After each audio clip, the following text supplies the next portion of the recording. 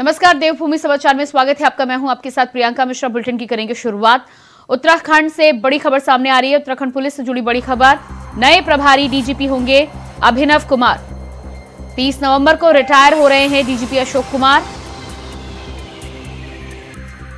इससे पहले वो हरिद्वार और देहरादून पुलिस कप्तान रह चुके।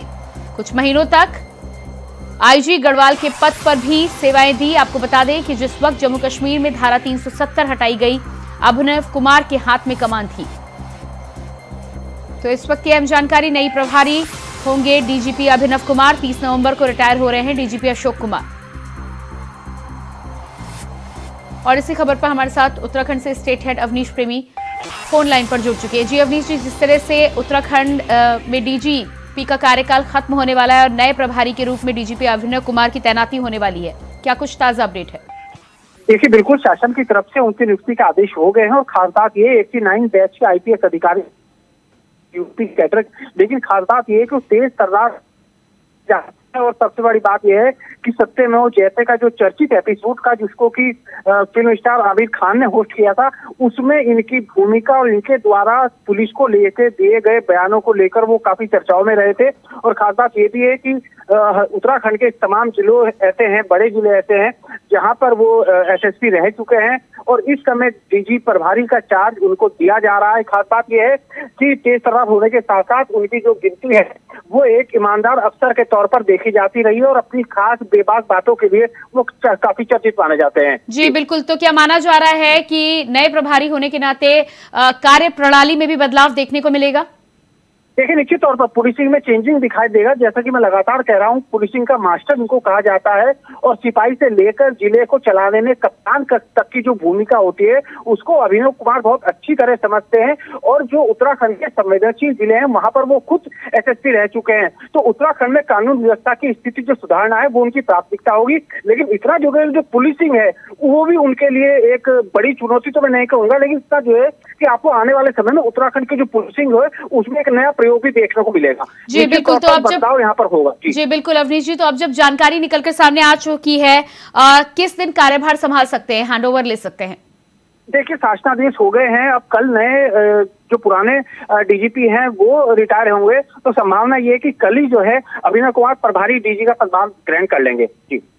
जी बिल्कुल अवनीश जी तो लगातार जिस तरह से नए प्रभारी होंगे नए डीजीपी अभिनव कुमार जानकारी हमारे साथ अवनीश प्रेमी जी स्टेट हेड उत्तराखंड से जुड़े हुए थे, जानकारी दे रहे थे। उनका साफ़ तौर पर कहना है कि तेज तर्रार आईपीएस अधिकारी हैं और कार्यप्रणाली में भी बदलाव देखने को मिलेगा।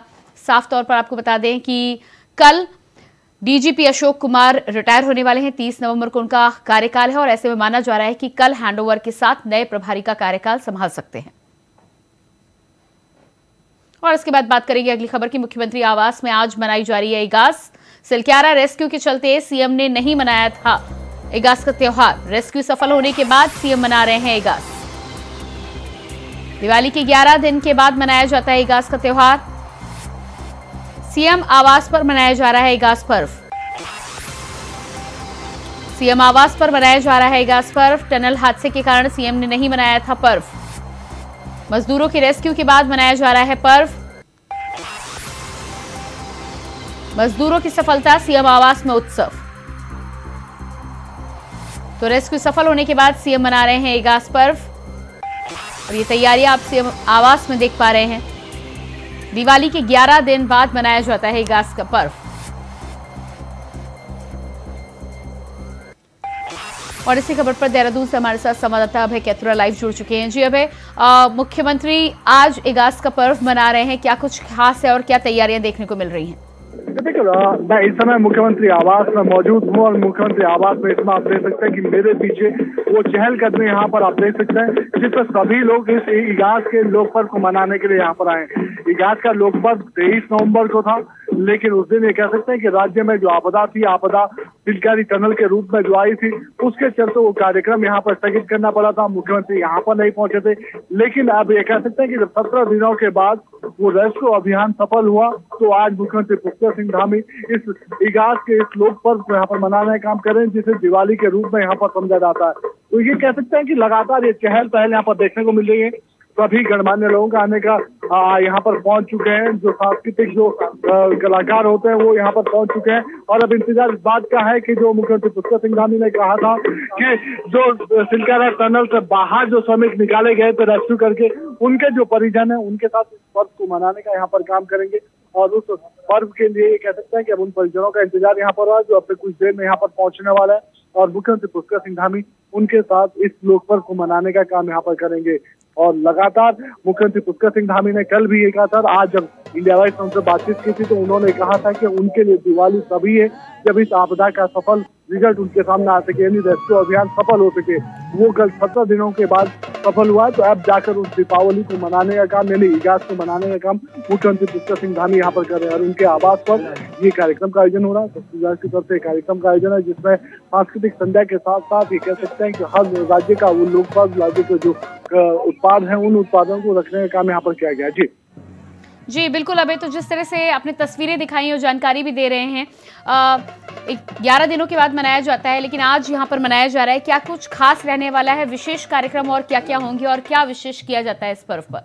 विशेष तौर पर इसे एक दिवाली के रूप में मनाने का काम किया जाता है। यानी उत्तराखंड के ये वो संस्कृति है, गढ़वाल क्षेत्र की वो संस्कृति है, जिसे इगाज के रूप में मनाता है। सबसे बड़ी बात यह कि ये ग्यारह दिन बाद इसलिए मनाई जाती है कि इसके पीछे की जो कहानी है, वो इतिहास से जुड़ी हुई है। यानी जब श्री राम, भगवान श्री राम जब लंका विजय करके लौटे थे तो अयोध्या में उनका भव्य स्वागत वहाँ पर किया गया था। दिए जलाए गए थे लोगों ने खुशियाँ मनाई थी लेकिन उसका समाचार ठीक ये कह सकते हैं कि गढ़वाल तक आंदे आते उसको समय वो समय यहाँ पर लग गया ग्यारह दिन का समय बीता। वो जब ग्यारह दिन के बाद जो समाचार यहाँ प्राप्त हुआ तो लोगों ने उस पर भी यहाँ पर खुशियाँ मनाने का काम किया था।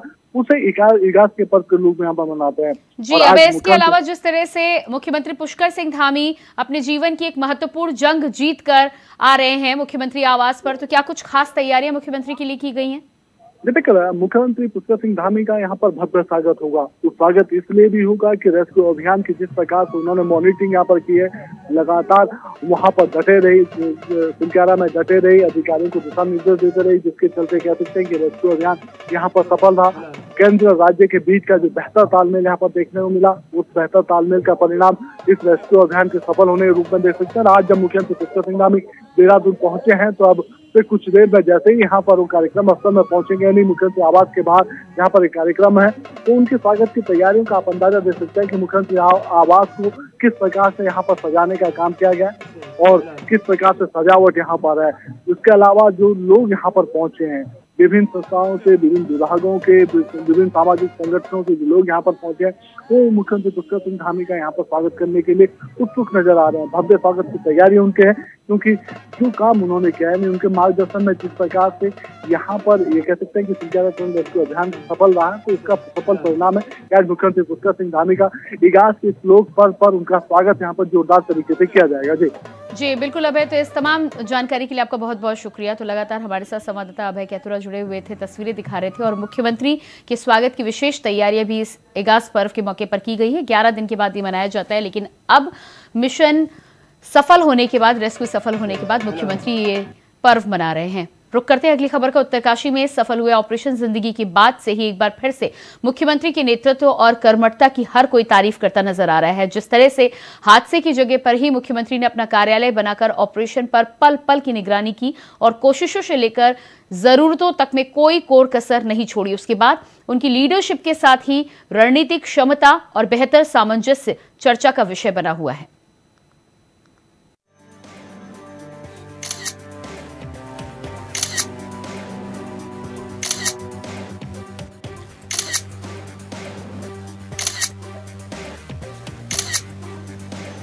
उत्तर काशी के सिलक्यारा में सुरंग हादसे में श्रमिकों को 17 दिन के बाद सकुशल निकलवा देने के बाद मुख्यमंत्री पुष्कर सिंह धामी एक बार फिर से पुष्प बनकर उभरे हैं। इस अभियान में उनकी सूझबूझ केंद्र से बेहतर तालमेल अधिकारियों से लगातार संपर्क ने ये साबित कर दिया कि धामी कुशल राजनेता के साथ बेहतर रणनीतिकार भी हैं, जो जानते हैं कि बड़ी से बड़ी चुनौती से कैसे पार पाया जा सकता है? इस हादसे का पता चलते ही मुख्यमंत्री अपनी अधिकारियों की मीटिंग बुलाते थे और तत्काल रेस्क्यू के निर्देश देते थे। मुख्यमंत्री धामी पीएमओ से लेकर तमाम मंत्रालयों के साथ पूरे संपर्क में थे। चुनावों में व्यस्तता के बावजूद प्रधानमंत्री मोदी इस घटना को गंभीरता से ले रहे थे और पीएमओ को इस घटना को टॉप मोस्ट प्रायोरिटी पर लेने को कहा गया था। मुख्यमंत्री धामी मौके पर पहुंचकर परिस्थितियों का खुद जायजा लेते, थोड़ा चिंतित दिखते। मगर उन्हें आभास था कि मौके पर हौसला अफजाई और बेहतर कोऑर्डिनेशन की ज़रूरत सबसे ज़्यादा है। उत्तर काशी से देहरादून लौटते लौटते मुख्यमंत्री सचिवालय के अधिकारियों को निर्देश देते, सिलक्यारी टनल के पास ही अस्थायी मुख्यमंत्री कार्यालय तक बना दिया गया, यानी सीएम का खुद का कैंप। कुछ अधिकारियों की राय थी कि देहरादून से ही राहत कार्य को मॉनिटरिंग किया जा सकता है, मगर संघर्षों से तपे और कठिनाइयों से पार पाकर सीएम बने। धामी ने अपने फैसले पर अड़िग रहना ही बेहतर समझा। धामी पहले ऐसे मुख्यमंत्री हैं जिन्होंने हादसे वाली जगह के पास ही अपना सीएम कार्यालय बना लिया और वहीं से ही पूरी मॉनिटरिंग की और पूरे उत्तराखंड का काम भी संभाला। वहीं इस बीच रेस्क्यू ऑपरेशन में बड़े उतार चढ़ाव आए। कई बार राष्ट्रीय अंतर्राष्ट्रीय एक्सपर्ट्स की ज़रूरत महसूस हुई। प्रधानमंत्री मोदी, जो कि दो से तीन बार रोज मुख्यमंत्री धामी से संपर्क में रहते थे, हर मौके पर साथ खड़े होने का ज़िक्र करते थे। लग रहा था कि रेस्क्यू ऑपरेशन जल्द पूरा हो जाएगा, मगर उम्मीदों की राह बनती, मशीन फेल हो जाती थी। लेकिन एक सच्चे लीडर की तरह हौसला बढ़ाते मुख्यमंत्री धामी ने टीम से कहा कि हमें डटा रहना है और सफल ही होना है। हादसे के सत्रह दिन बीत रहे थे, मगर वो दिन आ ही गया, जिसका बेसब्री से पूरा देश इंतज़ार कर रहा था। 28 नवंबर को ये खबर आई कि अब ज़्यादा इंतज़ार नहीं, सभी 41 श्रमिक देखते ही देखते बाहर निकल आए। एक एक श्रमिक के टनल से बाहर निकलने पर खुद मुख्यमंत्री ने पूरी आत्मता के साथ उन्हें गले लगाया, उनका स्वागत किया। मुख्यमंत्री ने अंधेरी सुरंग से निकाले गए इन श्रमिकों को एक एक लाख रुपए का आर्थिक मदद देने का ऐलान किया। साथ ही एक महीने की छुट्टी, उनके घर तक पहुँचने की व्यवस्था। यानी इस पूरे अभियान में धामी एक बार फिर से पुष्प बनकर उभरे हैं। साथ ही धामी ने यह भी साबित कर दिया कि कुशल राजनेता के साथ वो एक बेहतर, संवेदनशील टीम लीडर बनकर उभरे हैं। वैसे तो मुख्यमंत्री पुष्कर सिंह धामी की छवि एक कुशल राजनेता के तौर पर है, लेकिन जिस तरह सिलक्यारा में वो ग्राउंड ज़ीरो पर उतरे और खुद रेस्क्यू की कमान संभाली, इसके साथ साथ वो केंद्र से भी लगातार संपर्क करते रहे और जो मजदूर फंसे हुए थे, उनके परिवारजनों से भी बातचीत कर उनको ढाढ़स बनाते रहे। ऐसे में मुख्यमंत्री की छवि एक कुशल और सादगीपूर्ण के साथ साथ संवेदनशील नेता के तौर पर भी उभरी है। उत्तर काशी से अब एक कैंतुरा के साथ अवनीश प्रेमी इंडिया वॉइस देहरादून। के सफल होने के बाद भी पूरे देश में खुशी की लहर है जनता भी खुश है और सीएम धामी की तारीफ़ करती नहीं थक रही है। मैंने जो जब यहाँ ये बाहर मजदूर लोग जब बाहर निकले उनको बड़ी खुशी हुई है। हमारे प्रधानमंत्री और मुख्यमंत्री महोदय ने जो यहाँ पर कार्य किया है, उसके लिए हम बहुत सराहनीय हैं और आगे भविष्य में भी ऐसी, ऐसे कार्य के लिए हमेशा उनका भविष्य उज्जवल करें। नहीं, ये तो एक बहुत बड़ा सराहनीय कार्य हुआ है और ये केंद्र सरकार और राज्य सरकार के लिए एक चैलेंजिंग भी था टास्क था, है ना? जिससे कि बहुत सफलतापूर्वक इन्होंने इसको पूरा किया है। बसरते कि इसमें दिन बहुत ज़्यादा लगे हैं। है ना? दिन ज़्यादा लगने के कारण यही रहा कि कोई प्लानिंग नहीं थी। मजदूरों और इंजीनियरों को बधाई दूँगा जो इतने अठारह, सत्रह, अठारह दिनों के बाद उसमें से उतना उतना उन्होंने कठिन परिश्रम भी किया, उतनी चीज़ें वहाँ झेली भी, उसके बाद भी उन्होंने अपना हौसला खोया नहीं। तो पूरी टीम और पूरे मजदूरों और इंजीनियर्स को सबसे पहले बधाइयाँ। उत्तरकाशी टनल से बचाए गए इकतालीस मजदूर, जिन्हें इलाज के लिए ऋषिकेश एम्स ले जाया गया है, जहाँ एम्स ऋषिकेश की कार्यकारी निदेशक और सीईओ प्रोफेसर मीनू सिंह का बयान सामने आया है। उन्होंने कहा है कि मजदूर एकदम ठीक हैं, मैं उन्हें मरीज़ भी नहीं कहूँगा, ये काफ़ी ठीक महसूस कर रहे हैं और वे बहुत नॉर्मल व्यवहार कर रहे हैं। उनका रक्तचाप, वाइटल्स ऑक्सीनाइजेशन बाकी सब कुछ ठीक ठाक है।